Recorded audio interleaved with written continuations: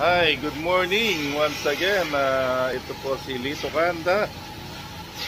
Ah, ito po ang ginagawa namin sa umaga, nagmi-milking. Ah, actually, matagal na tayong hindi ah, gumagawa ng video ng vlog natin. Kasi una muna busy tayo sa farm. But ah, since then, ah, ngayon ay tinatawag natin na calving season June, July, August. Ah, naatasan po ako kumasain dito sa shed ng 54 bale dahil ang isang samahan nila ay day off. Ngayon, ah, na-inspired po ako ulit na gumawa ng ah, vlog dito sa New Zealand kasi since uh, magana naman po ulit mag-open ng border ang ng New Zealand para sa mga babae natin o mga ibang bansa na gusto magtrabaho dito. So, I hope uh, sana o sakali mang ano ay makatulong to sa mga nag-aspire na punta dito sa New Zealand. Bali early in the morning, ang ginagawa po namin ay mag-milking. Uh, ito po ang ang tinatawag nilang first shirt sa shed na to. Uh, kasama ko po dito uh, si Jason. Jason! Boss Jason! Yan, si Jason ay actually uh, is from Mindanao. Uh, graduate po siya ng agriculture pero dito sa New Zealand uh, nag-aaral siya sa NTA. So ano yung NTA? National Trade, Trade, Trade Academy, no? Bali yung NTA po, yun yung parang agriculture school sa atin sa Pilipinas. So, nag-aaral po siya ulit dito sa New Zealand. Ayun. Fortunately, yan, dito siya na-assign sa farm namin. Ah, malaki po ang ginastos niya. Pero, after many years, ah, kikitain din naman po yun. Ah, tsaga, tsaka ano. So, sana, ah, ito, ay makatulong sa ating mga kababayan. Uh, early in the morning, yan po, ikot natin. Ang ginagawa namin ay milking. Ito po ay mga green na. Uh, mga ang gatas nito ay pumapasok na sa bat. Kinukuha ng puntera. Bali po ang shed na to ay tawag ay ang rotary shed. Dalawang klase po ang shed na natin. Uh, yung iba ay herringbone type. Then ito naman ay rotary shed. Bali ito, karamihan po dito is mga heapers. Replacement heapers kaya medyo makukulit po ito. Baga sa mga driver eh learner mo nga mga matandang inayin na. Yan. Dito malapit na silang matapos mag calving bali minimilkingan nila dito sa mga nasa 500 na. Yan. Yan po nangyayari. Pumapasok Yan, dali pumapasok yung mga baka. Yan. Then, after that, yan, si Jason ay kakap niya. Yan. Then, ang cup na to ay sasak niya yung gatas ng baka. Yan. Papasok sa seat.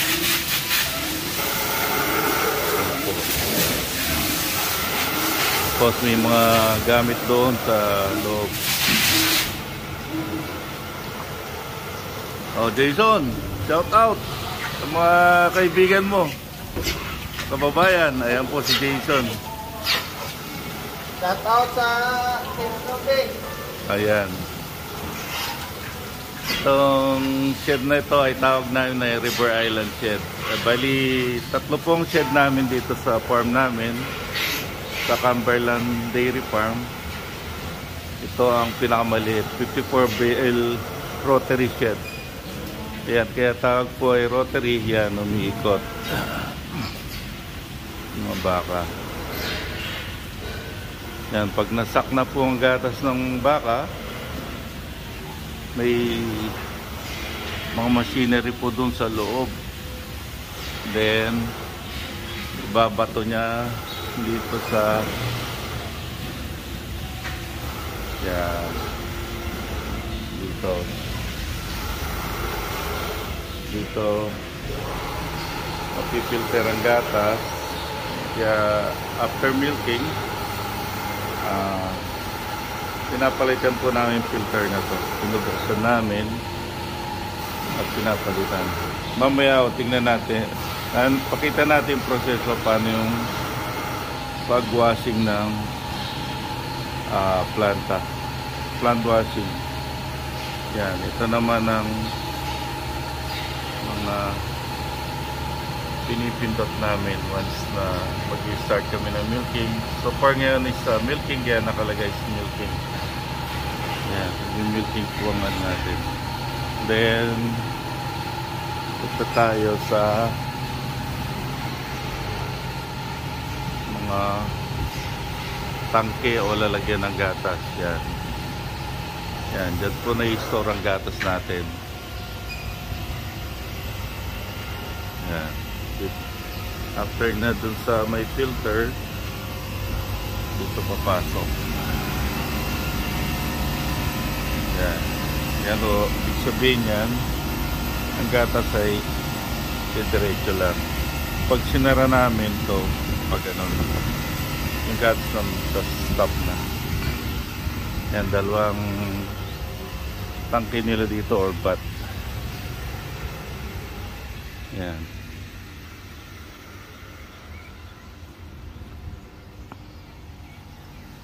yan tapos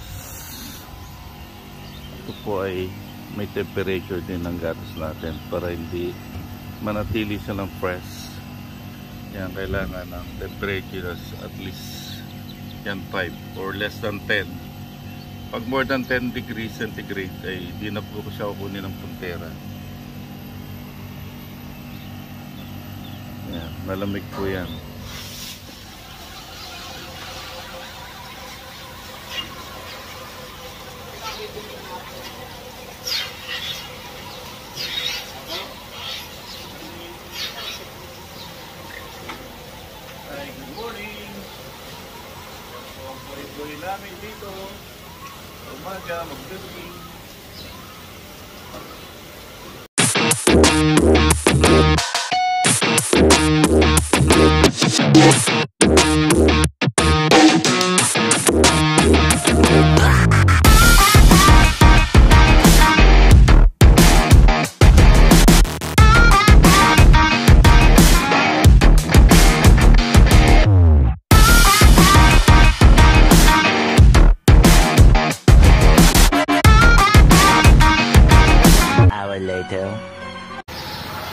Ayan, after one hour of milking, tapos po na po yung first surge. Ito po yung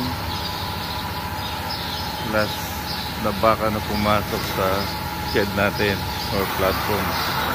Inikot tayo. Pamuhaan to. Yan. Dito siya tapos nalaglag ang kanyang cups. Ah, check natin yung mga nalaglag. Balikan natin mamaya yan.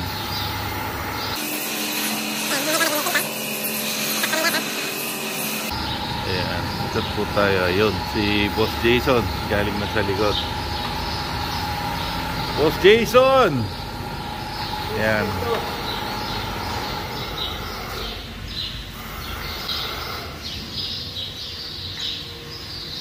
And then, ang mangyayari, paparging po natin para lahat ng gatas ay pumasok. Ayan, pindutin po natin yun.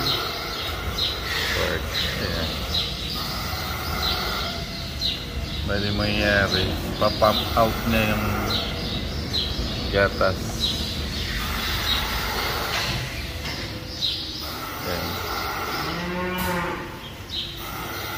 Papunta sa ating tangke o bat. Yan. Yan ang first bat. Diyan pumapasok yung gatas. Ito yung second bat.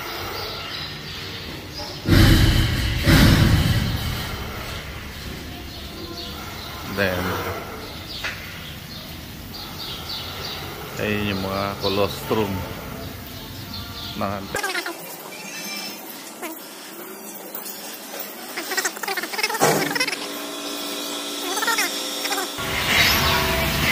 Ayan.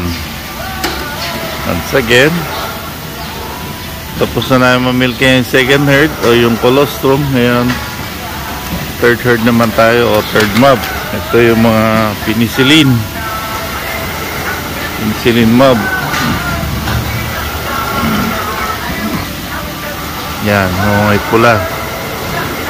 Ito yung mga under treatment po. Yung iba eh patapos na. Pag may bloom yan, lahat ng ibalik sa main bat ang gatas nila para makolekta ng kontera. Yan. Yan, mga ginambot yan. Mga iba may mastitis. Ay lame or pilay. Mga iba naman may mga tinatawag na retained placenta. Yung pinanganak ang baka, yung placenta nila naiwan sa loob kaya minsan kakaroon ng infection. So, gagawin po natin ay kinagamot po na sila ng antibiotic. Then for 7 days, yan, babalik na yung gatas nila sa uh, milk tank collection. Yan. Ito po ang third mob.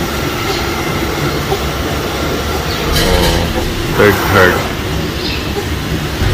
Yan. Ang, pero ang gatas nito ay tinatapon lang. Ayan po. Hindi, hindi kasi nasasali sa collection. Kaya yan. Tinatapon na lang yung gatas nila. Dahil may penicillin. Bawal kasi dito sa New Zealand ng penicillin milk. Yan. Tapos pindutin natin ulit yung carding para mag-clear out yung gatas sa loob. Ayan, that's all for today. Yan po, tapos ang buong milkingan namin sa isang umaga. Maya maya, ah, linisin naman namin yung ano, yung planta.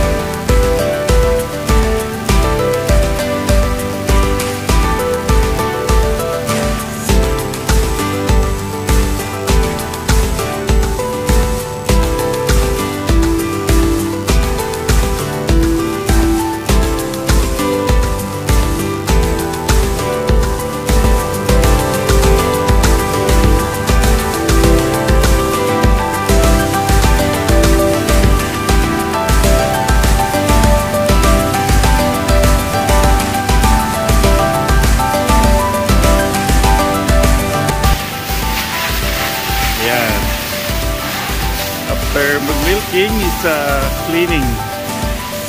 Yan, si Jason. Lilinis niya yung yard natin. Yan, using a power hose. Lakas po tubig dito. Yan, linis na ulit ang shed natin. Pwede na siya ulit para mamayang hapon.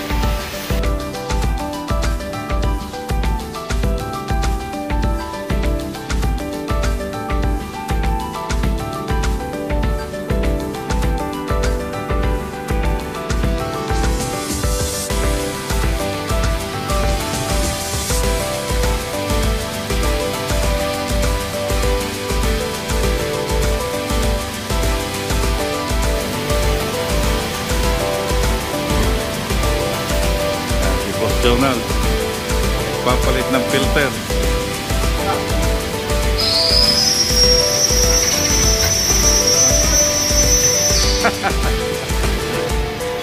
yeah, pinalitan yung filter. Yan. Yung kanina na wag palitan. Palitan ng bago. Yan ang bago. Okay. All done. That's all for today. Tapos na po yung milking natin.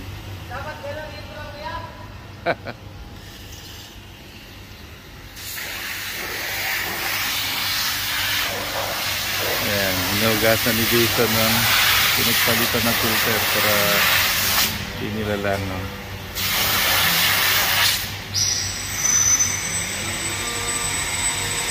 That's all. Thank you for watching. Oh, shout out, shout out. Boss Jason. Hi guys, welcome to my vlog. okay, thank you. Thank you for watching.